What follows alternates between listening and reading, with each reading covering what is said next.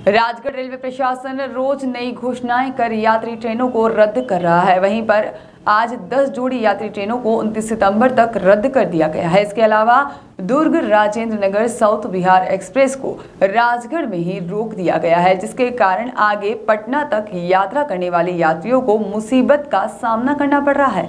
यात्री station master के दफ्तर में हल्ला बोल दिया और जिसके साथ ही स्टेशन मास्टर पी के राउत ने मीडिया को बताया कि आगे आगरा व साथ ही में खड़गपुर डिवीज़न में आंदोलन चल रहा है और जिसके कारण साउथ बिहार एक्सप्रेस को राजगढ़ में ही रोक दिया गया है, जो आगे नहीं जाएगी।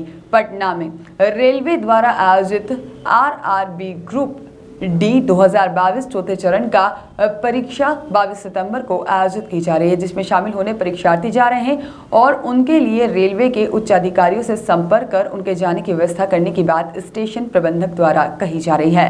क्या नाम है आपका? कहाँ से आ रहे कहाँ जाना है आपको?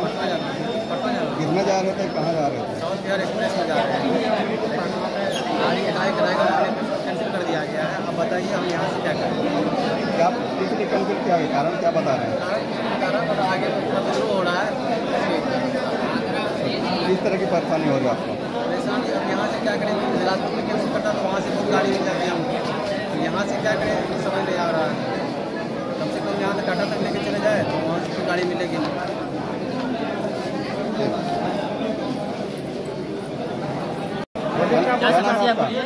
सर यहाँ गाड़ी कैंसिल कर दिया हम लोग को वहीं पता चल जाता कहाँ जाना था आपको? पटना। अभी क्या करेंगे?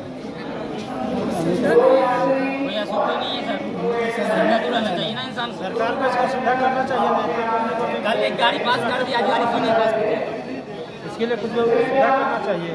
पैसा चाहे चलना चाहिए। अब कब पता चला आपको कैंसिल हुआ? यहाँ आने के बाद। गाड़ियाँ पहुँचने के बाद पता चला कितनी असुविधा हो रही है आप बहुत असुविधा सुविधा होगा ना सर।